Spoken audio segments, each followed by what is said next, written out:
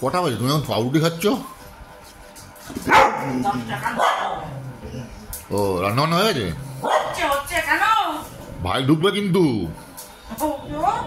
ভাই ঢুকবে ও ঢুকে কিন্তু খেতে চায় ওই না পেয়েছে।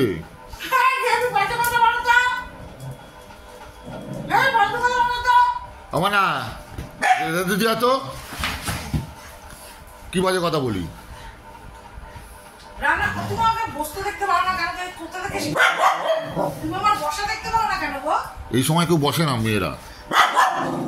এই সময় দৌড়ে যাবে আপ টু বারোটা! তো মানে ক্যামেরা হাতে নিয়ে আজকাল বড্ড ফালতু বড্ড ফালতু কথা বলে। তোমার ভাই আসে আসবে? তোমার ভাই আস্তে আস্তে সাড়ে বারোটা একটা। যাই হোক কি বসিয়েছো? কিছু বসানি বোধ শুধু ভাত হয়েছে। হ্যাঁ ভাত হয়েছে মুখে ডাল বসে এসছি। ও মুগের ডাল বসিয়ে হ্যাঁ। বাহ। বাচ্চাদের ভাত হয়ে গেছে বাচ্চাদের কে বলেছে খেত খাওনি কেন? কে খেতে বন্ধ করেছে বসে বসে বসেই তো খায়। দাঁড়িয়ে দাঁড়িয়ে দৌড়ে দৌড়ে কেউ খায় নাকি?